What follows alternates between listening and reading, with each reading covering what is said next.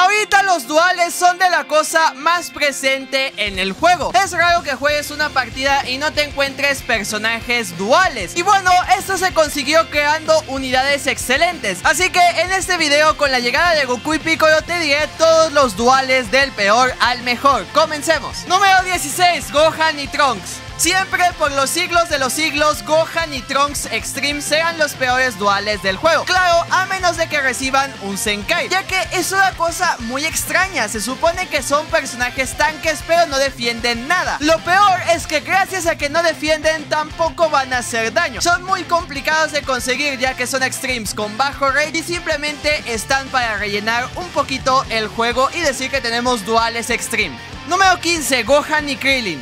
Estos no son malos del todo, ya que Gohan y Trunks directamente son inútiles en toda la partida. En cambio, estos como quiera en cierto momento de la partida pueden llegar a pegar bastante bien, pero a costa de tener buen daño tienen una defensa bastante baja, prácticamente de cristal, que literal de un combo o carta se pueden morir. Y claro, un personaje que única y exclusivamente solo aporta daño a lo bestia, a mí y a muchísimos jugadores no les sirven, ya que actualmente necesitamos personajes utilitarios, es decir, que hagan múltiples cosas. Número 14, androides 17 y 18. A partir de aquí iniciamos con los personajes Sparking. Y los primeros son los duales androides 17 y 18. Es increíble cómo cambió el meta, ya que antes cuando salieron eran los personajes más injustos del juego. Ya que incluso a día de hoy siguen teniendo un daño bastante respetable. También siendo counters a muchos personajes meta. Vamos por partes. 17 siento que es el peor de los dos, ya que su carta verde lo único que hace es empujar Dark Carta y Anti-Cover. Con la Android 18 ya la cosa mejora, ya que destruye literal a los azules. Además, su verde la primera vez quita Vanish, se da carta y prácticamente tienes combo. Son personajes que siguen siendo muy buenos, que si combinas el combo largo que tienen, más el mata zombies permanente, en rangos medianamente bajos, puedes seguir haciendo algo con ellos, claro, si los tienes a muchas estrellas. Número 13, GC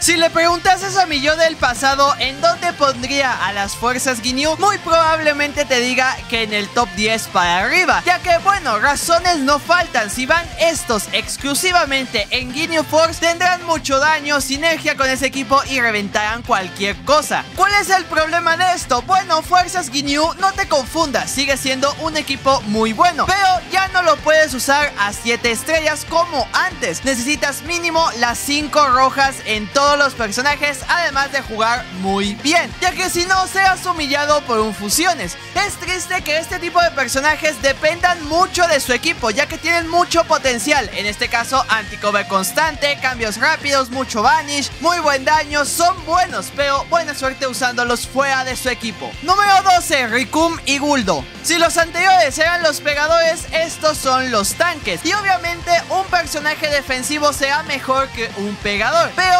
estos más de lo mismo, sufren exactamente el mismo problema. Necesitan sí o sí su equipo de fuerzas Ginyu. Pero estos sí sufren más fuera de ese equipo, ya que en fuerzas Ginyu ganan buffos adicionales. Rikum es el mejor de los dos, ya que normalmente se quita la desventaja de color, se cura por golpe recibido y tiene un daño bastante respetable. Guldo es el peorcito de los dos, ya que tiene menos defensa, pero este sube el coste de cartas y quita el ki. Son buenos, pero igual limitados. Número 11, Goku y Vegeta Super Saiyan 4. Sigo pensando que estos güeyes siguen siendo no top del juego, pero sí muy competentes para usar en algún equipo de GT. Claro, la única desventaja es que Goku es de color verde, así que es comida gratis para Gogeta Super Saiyan 4. Pero, en cambio, Vegeta tendrá ventaja de tipo contra estos personajes. Son tan buenos por lo increíbles que son al momento de hacer daño. Goku es un personaje más enfocado en pegar críticos, ya que tiene mucha posibilidad de darlos con cada golpe que hace. Pero como todos sabemos, Goku se especializa en pegar mucho con su carta azul. Y además recupera Vanish si destruyes tres cartas o más. Lo mejor de estos es que si ejemplo estás haciendo combo con Goku y cambias a Vegeta, este te dará anti-cover por 10 segundos, dos cartas y combo prácticamente garantizado. A veces es tan bueno que puedes cambiar de vuelta a Goku, que este siempre te dará una carta azul. En tema de defensa, pues sí, la verdad están bastante mal. Pero si te tiran alguna Ultimate Skill o Rising Lightning Rush, estos reducen 10 segundos de espera y no permiten cambiar al rival. En pocas palabras, normalmente sobrevives. Son muy buenos personajes y necesitan algún Senkai o Platino para que se usen otra vez. Número 10, Trunks y Vegeta.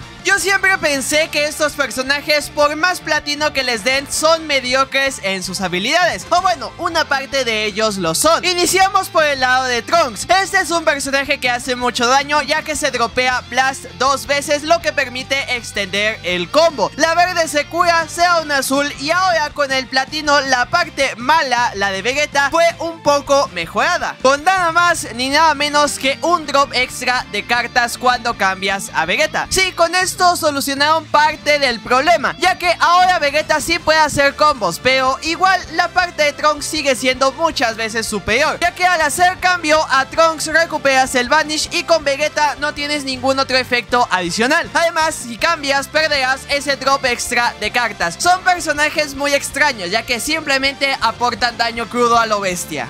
Número 9, Gamas 1 y 2. Estos personajes han caído mucho en estos últimos meses, en parte porque su equipo Tocho Androides ha pegado un bajón considerable. Tú ahorita te estarás preguntando, pero si están dando actualizaciones a películas, los gamas técnicamente deberían estar en su prima. En parte, razón no te falta, pero todos los nuevos personajes que han sacado últimamente son de Strike. Solo uno ha sido de Blast y lo peor ha sido Free to Play amarillo. Además, este equipo para el color amarillo no tiene mucho Senkai Bench, al contrario de por ejemplo el color rojo o el verde. Son bastante buenos, sí te darán un buen rendimiento, pero no te darán el máximo como con androides, ya que aquí tienen buenos bench de Senkai, buena defensa, sinergia excelente y prácticamente todos son de Blast. Número 8, Goku Super Saiyan 3 y Vegeta Super Saiyan 2. Ok, aclaro, antes de que digas cualquier cosa y alguien me venga a decir, estos no son mejores ni por asomo en habilidades a los gamas, pero su falta de estas la compensan con sus equipos, además de que tienen un platino único. En este caso, Goku es un personaje que por cada carta que usa se da drop de cartas más darse anticover con la primera, permitiéndote combos bastante largos. Y Vegeta solamente tiene un daño bastante alto de la carta azul más quitar los buffos. En todo lo demás es mucho peor que Goku. Incluso con el platino, ya que este solamente le dio que gane una carta Iki al cambiar. La standby ahorita es 500 veces más difícil de lograr que cuando salieron, ya que te lo digo desde ya, si tienes menos de la mitad de la vida es imposible que la completes. Claro, a menos de que el rival no te haga ni un solo combo, ya que en ese estado Vegeta no puede cambiar, te da una verde que es counter, pero tienes que arreglártelas de alguna manera entre verdes y combos para que no te hagan ningún daño. Ya que no sé si te lo había dicho, pero en ese estado tienes muchísima defensa, pero no puedes cambiar. Es complicado de sobrevivir, pero si lo consigues hacen un daño bestial.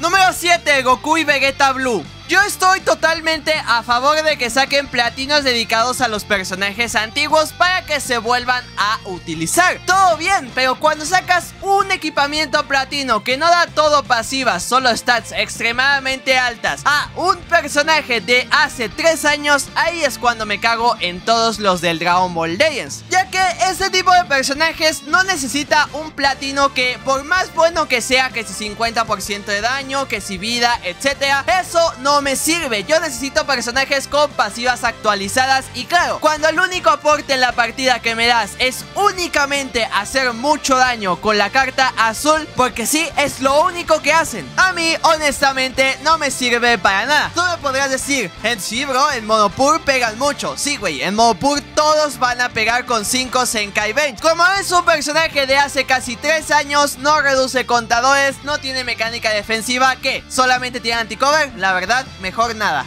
Número 6, Vegeta Blue Evolution y Goku Blue Kaioken mis grandiosos y queridos Evoken, siendo que estos en sí no tienen malas habilidades, o sea, sí son peores que Gohan Bestia Transformable, pero aún así, en un equipo bueno con equipamientos chidos te dan un gran rendimiento. Lo malo es que su diseño no está implementado para este meta. Me explico. A día de hoy existen personajes como Broly LF o Gogeta Super Saiyan 4 Ultra que se caracterizan por literal one-shotear de una carta. No son personajes diseñados en hacer combos. Y claro, gracias a esto reduces cualquier posibilidad de algún gouch counter, ya que antes de eso eliminarás al rival. Bueno, los Evoken fueron diseñados de una forma que todo esto que mencioné anteriormente se va a la basura, ya que se especializan principalmente en hacer combos muy largos. El problema recae en que Gogeta Super Saiyan 4 Ultra llena el gouch corta combo y no sirvió de nada. Pero en cambio, si puedes aprovechar muchas veces el gouch cuando muere un aliado que lo llena de golpe, además de llenarse el Vanish, si lo usas con la carta verde tendrás igual muchísimo más combo. Son buenos siempre y cuando no haya gouch counters. Número 5, Goku Freezer. Si te soy sincero, Goku Freezer no son mejores que los Evoken, pero tienen una mecánica que para mí vale mucho más que combos infinitos. Un counter en casi cualquier situación al Rising Rush, tanto por cover quedándose quietos o incluso en un side step. Y esto puede dejar inútil el Rising Rush de Bellito fusionable, pero ya luego entrando a otro terreno, estos son personajes bastante competentes. Actualmente ya no tienen el daño más alto, por no decir que es un poco bajo, pero tienen un potencial de combo bastante buenos, pero le doy muchos puntos por eso del Rising Rush, ya que el rival vivía con el miedo constante de no poder tirártelo por lo menos los primeros segundos de la partida. Número 4, Goku y Bardock. La defensa de un personaje puede decaer todo lo que tú quieras, puede ser una miseria en todos los aspectos, pero la inmortalidad a cualquier cosa una vez nunca deja de ser útil, ya que prácticamente es sobrevivir a lo que sea en cualquier situación. Su daño sí te digo que sí pegó un pequeño bajón, pero tampoco tanto. Siguen pegando unas hostias muy potentes. Tienen su verde de onda expansiva, equipamientos únicos que puedes poner a tus aliados que se activan llevando a Goku y Bardock. Digo, actualmente no tienen gran utilidad fuera del indestructible y gracias a ello siguen siendo muy buenos. Número 3, Goku y Piccolo. Sí, fanboys de Goku y Bardock. Yo sé, estoy consciente, estos no tienen la única ventaja que hace bueno a Goku y Bardock, el indestructible. Pero tienen a costa de ello un potencial de combos, daño y utilidad muy buenas. Bueno, pero ¿por qué considero a estos dos tan buenos? Primero un pequeño dato, estos aparte de las fuerzas Ginyu son los primeros Sparking duales que tenemos en el juego. Iniciamos con Piccolo, este tiene una verde de onda expansiva súper sencilla de colar, ya que también es de una animación muy rápida. Drop de cartas bastante alto, al cambiar a Goku te das una verde una vez y con este recuperas el Vanish, te das anti-cover pero no dropea carta. Al cambiar de vuelta a Piccolo te da otra verde una sola vez, más obviamente poder hacer combos bastante largos. Tiene un drop muy alto de cartas, reducción de ki para sobrevivir a un combo. Son excelentes, puede reventar equipos completos ellos solo si se les da la situación adecuada. Número 2, Goku y Vegeta Blue fusionables. Yo tengo varios problemas con estos personajes. El número uno, y creo que es el más importante, la falta de defensa. Ya que bueno, no sé si soy el único, pero recibo muchos one shots con este personaje. Sobre todo por Broly LF. Ya que a mí en duales no se me hacen la gran cosa. Quiero decir, solo hacen buen daño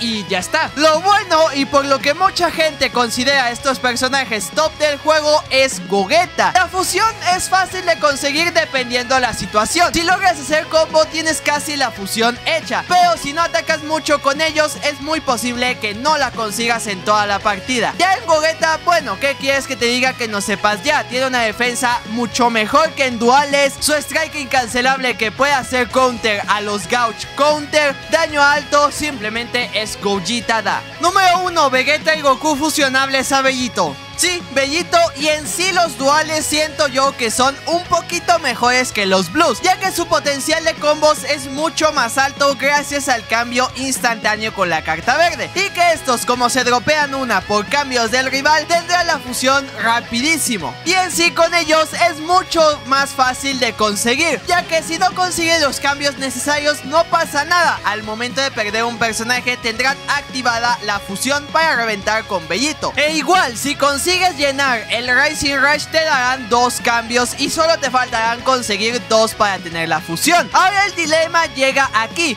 El dúo de Z tiene mucha menos defensa que los Blues, pero tienen una mecánica de kill segura en su Rising Rush, ya que en Bellito prácticamente no te lo pueden adivinar. Pero fuera de eso, Bellito solo tiene daño crudo, no hay otra mecánica más que esa. En cambio, Gogeta tiene más mecánicas que es, por así decirlo, más para desgaste, ya que puede durar muchísimo más en batalla gracias al anticover constante con el Strike. Creo que queda debate de cada quien, pero 100% siguen siendo los reyes de este juego.